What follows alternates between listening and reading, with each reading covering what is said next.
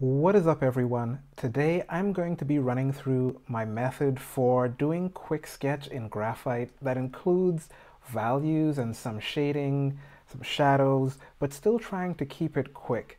This year I'm focusing on picking up the pace, increasing my speed, and so here is my method that I have been using lately to do the copy of these artworks that I like. First of all, we begin by setting down straight lines.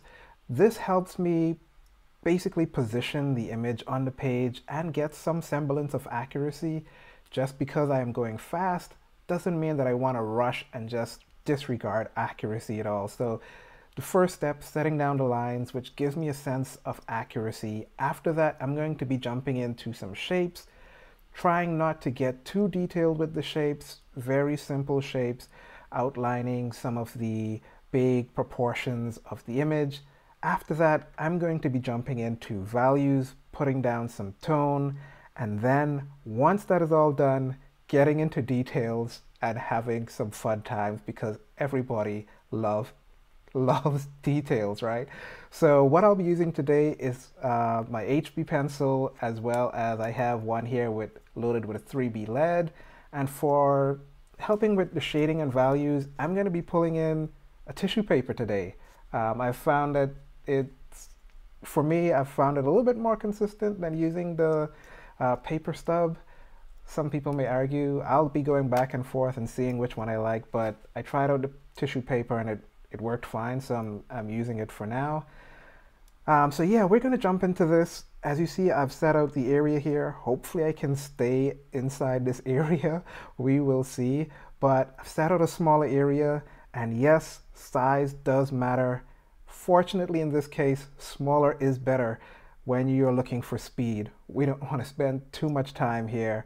And yeah, let's jump into this, starting with the lines, and let's see, let's see how this goes.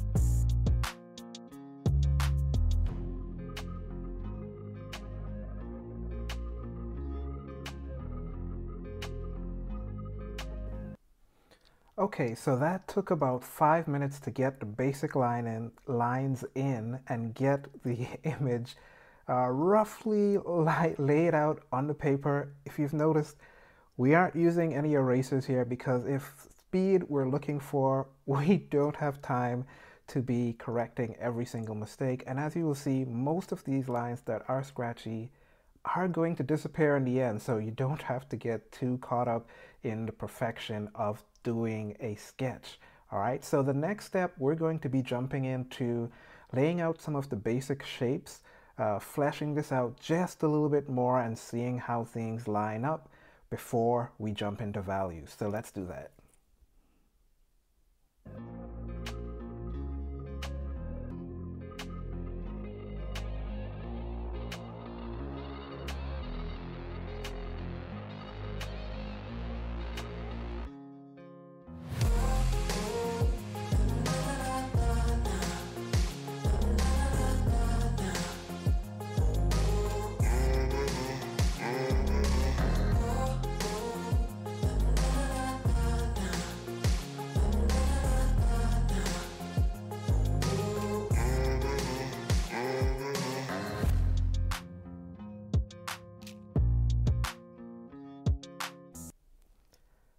Okay, so that was about 15 minutes and we got all of our basic shapes and placements all set out. So now I'm going to be jumping into adding some value to this and then I can't wait till I get to the fun part, which is really adding in the details. Everybody loves details. But first, let's get to adding in some values. For this, I'm going to pull out my 3B softer pencil and, and get to some shading. Let's do it.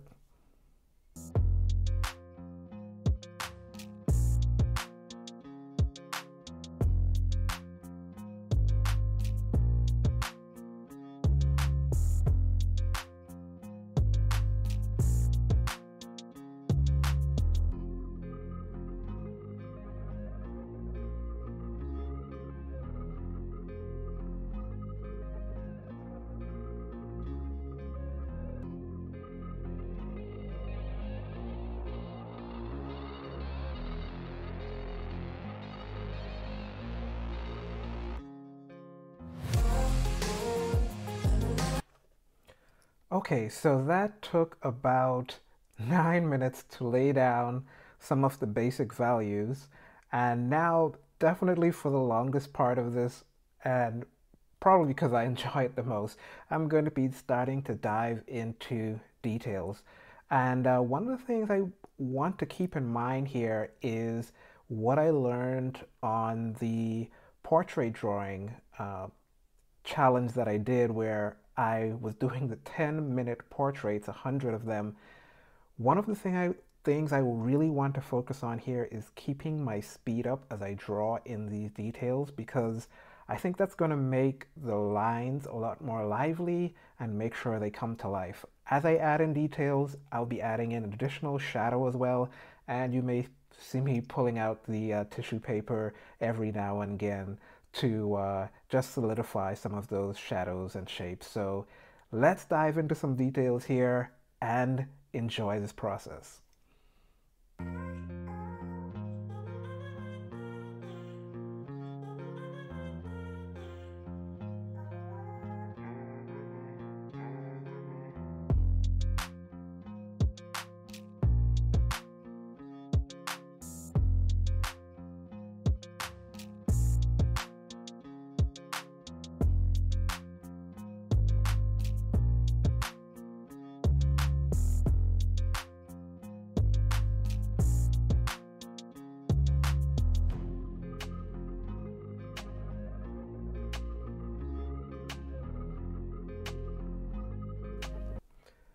Okay, so that took about 25 minutes to get those details in and some additional shadow mapping. And because I like this stage so much, I'm gonna go a little bit harder here, push the values a little bit more, and uh, yeah, just have some more fun here. And basically, I'm free to stop whenever I want to now because I have really captured the essence of this photo, this picture, this piece of art by Frank Frazetta. And yeah, from now on, it's hey, how much time do I want to spend on this? And hey, just have fun with it. And again, as I normally say, the most important part is having fun. And yeah, that's what I'm going to do. So let's jump into some more, some more work on this.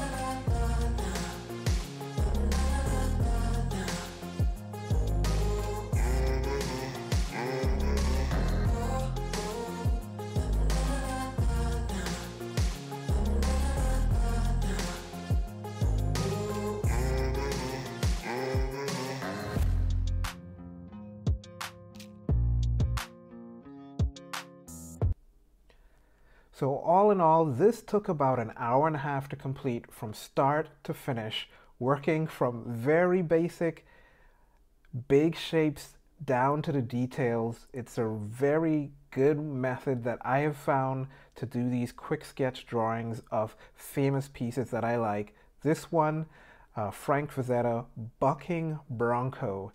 And so again, if you stuck through the video this far, consider joining me on my journey and let's learn and enjoy this process together. Thanks, see you in the next video.